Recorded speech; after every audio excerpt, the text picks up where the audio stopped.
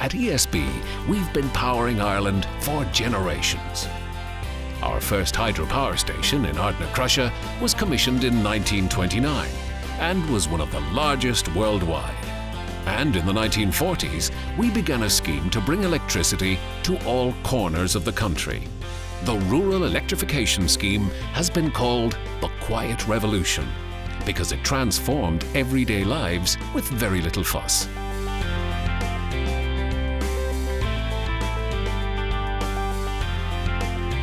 It is difficult to believe that this valley has been touched by modern technology.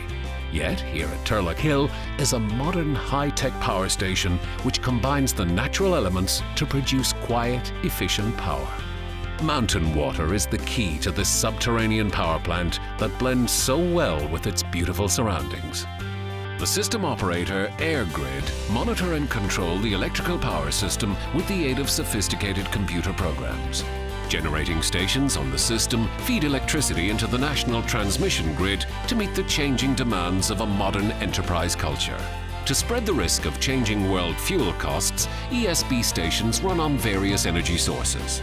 These include hydro, the original source harnessed by ESB in 1927, gas, peat, our indigenous fossil fuel, wind, and coal, imported from around the world, and pumped storage at Turlough Hill. Each station has its place in the intricate system. The computer programs advise the engineers how best to make the most efficient use of each station. The most cost-effective plant is used first. This is a delicate balancing act. To have too many generators standing by would be wasteful, yet too few would be very risky. So it's not as simple as turning on more stations when required. To add to this difficult equation, electrical demand rises and falls throughout the day and night, and as electricity cannot be stored in significant quantities, the generators must always be ready to meet the changing demand from customers. The system also has to cope with normal maintenance programs and the possibility of generating plant failure at any time. This seems like an impossible task. So how does the system cope? If an incident results in one of the generating sets at a station failing during a peak demand period, this could result in a shortfall in the available power to meet the demand.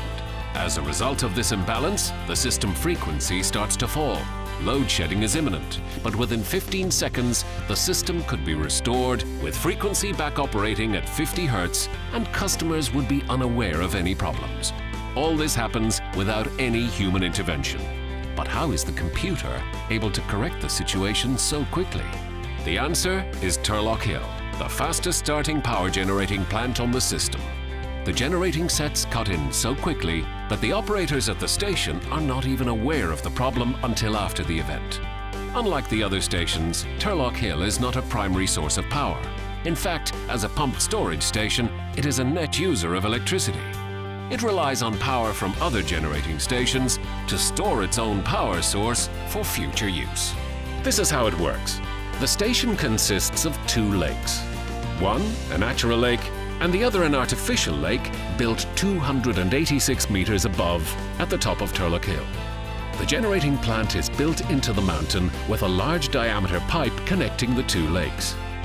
At night, and during periods of light demand, energy from other low-cost ESB generating stations is used to pump water from the lower natural lake to the upper man-made lake where it is stored.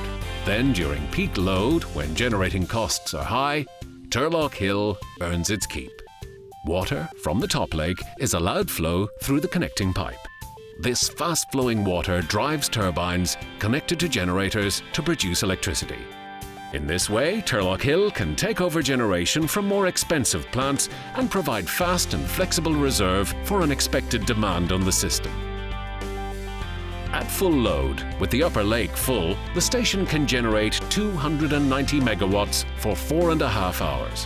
However, the station is normally generating at part load throughout the day, increasing and decreasing output to meet the system demand.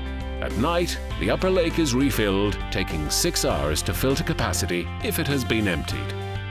In the early 1960s, ESB planned the construction of this station for purely economic reasons. The station would displace high-cost generating plant at peak demand period with energy generated from water pumped at low cost during off-peak times. However, the station today fulfills an additional role by contributing to system reserve, responding quickly to changes in customer demand. This important role means that ESB can make the most economical use of all generating plants while maintaining a reserve backup situation. This can be done without incurring huge cost from running expensive generating plant just as backup. Even at night when Turlough Hill is pumping water to fill the upper lake, it can still provide reserve for the system by shedding one or more pumps, each giving 68 megawatts of power back to the system, or in extreme circumstances, it can switch to generator mode in just over two minutes. However, there is usually at least one set not pumping and ready to start generating within 15 seconds. The site at Turlough Hill was chosen after extensive examination of available locations. The proximity of Lough Nahanagan, the natural lower lake, to the flat-topped hill meant it was ideal for the project. The height of the location, at 700 metres above sea level, was a disadvantage, but this was outweighed by the fact that it was so close to Dublin City. Work began on the site in 1968. One million tonnes of peat were removed from the crown of the hill the upper lake was formed by removing the apex of the hill to form a flatbed while using the quarried stone to build a surrounding embankment. More than 300,000 tons of granite were excavated in construction of the tunnel. This rock now forms the base for the outdoor switching station, which handles the power at 220,000 volts. At the time of construction, this was the biggest civil engineering project ever carried out in Ireland a large access tunnel was constructed to service the cavern which houses the generating hall situated over 300 metres below the top of the hill. From here, work began on the tunnel to house the enormous pipe, known as the pressure shaft. At the same time, the crew at the top of the hill began to excavate down.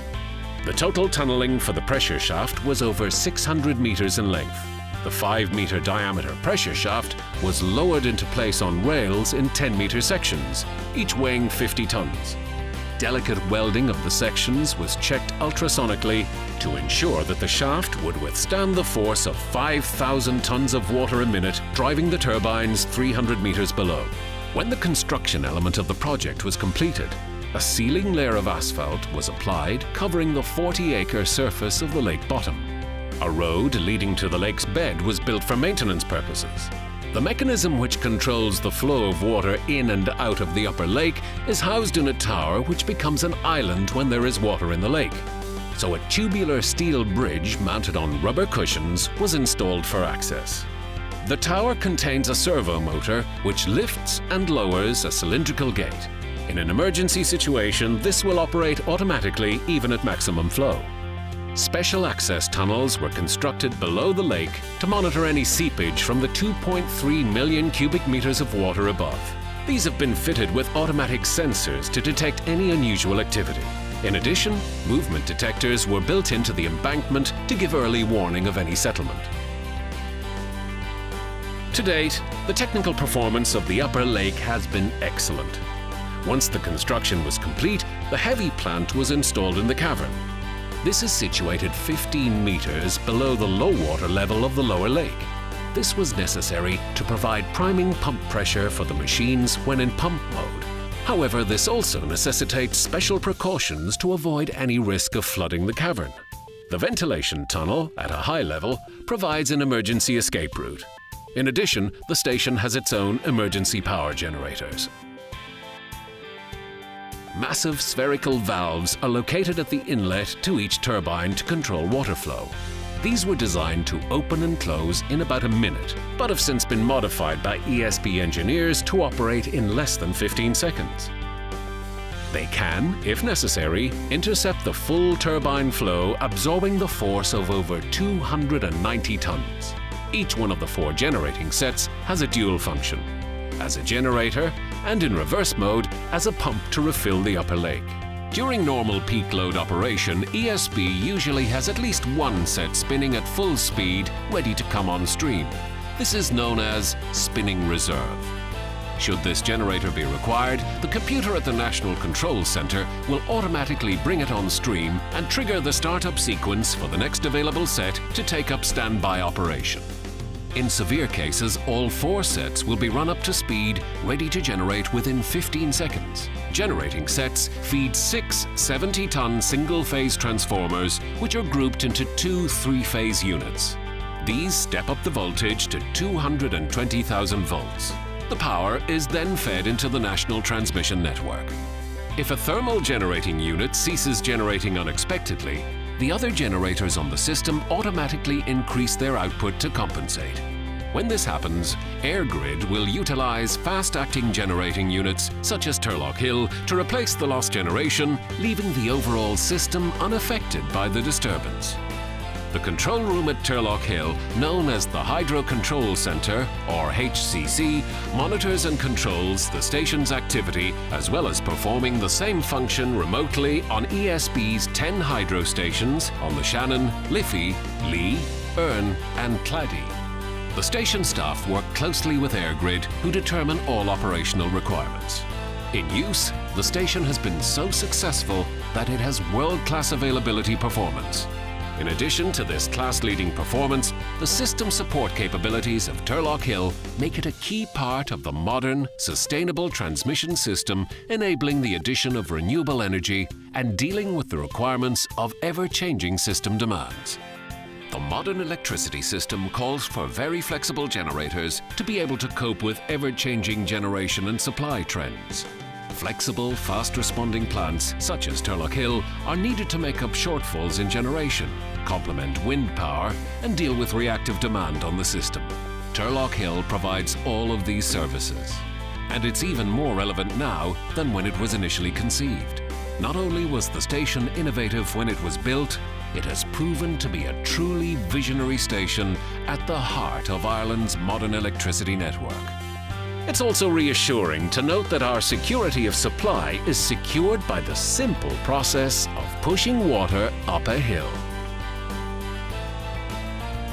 Today, Ireland has one of the most modern electricity systems in the world, and ESB, Ireland's key power provider, continues to transform everyday life.